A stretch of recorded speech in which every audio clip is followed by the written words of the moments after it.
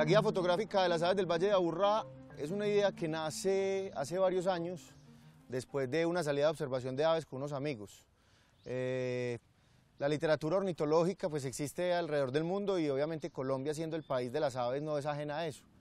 Básicamente eh, creíamos que existía una necesidad de tener un texto con imágenes o con fotografías que fueran mucho más cercanas y más amigables con la gente del común. Nos dimos a la tarea de programar sistemáticamente las salidas, buscar las especies, fotografiarlas, hasta que se logró materializar eh, el libro.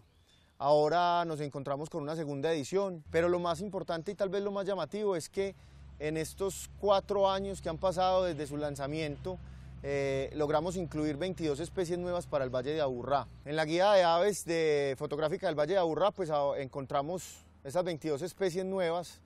Hay algunas muy llamativas como el caso de la, del águila de montaña, eh, Spicetus isidori, es tal vez un registro que para la ornitología no solo del Valle de Aburrá, de Antioquia, sino de Colombia es muy importante. Es una de las especies de aves rapaces más grandes que tenemos que tal vez puede estar eh, en un grado importante de amenaza. Otras especies importantes es tal vez el guaco eh, manglero o, garza nocturna, que a lo largo de estos últimos años, eh, sobre el margen del río Medellín, a la altura de los barrios Acevedo, Tricentenario, Madera, se ha ido haciendo muy frecuente el registro. Otro registro interesante es los registros que se han hecho, por ejemplo, de el colibrí rubitopacio y por ahí eventualmente en el, en el Cerro El Volador eh, algunos de los funcionarios o de los visitantes hacían reportes que aparecía en algunas de las, de las plantas florecidas. Eh, el guadañero, piquirrojo,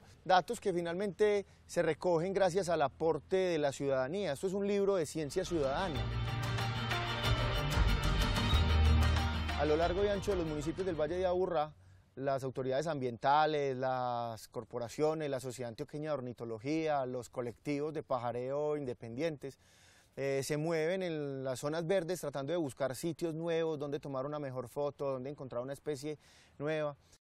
Esta guía es una iniciativa que nos lleva a todos a ser parte de una invitación a que nos apropiemos de los recursos. Cuando uno conoce lo que tiene, lo cuida, lo protege. El solo hecho de que sepamos que hay que respetar el parque, que no debemos tirar basuras a la calle, que no debemos contaminar las fuentes hídricas y la conservación del recurso, yo pienso que ahí cada uno puede aportar gran parte en ese proceso de conservación.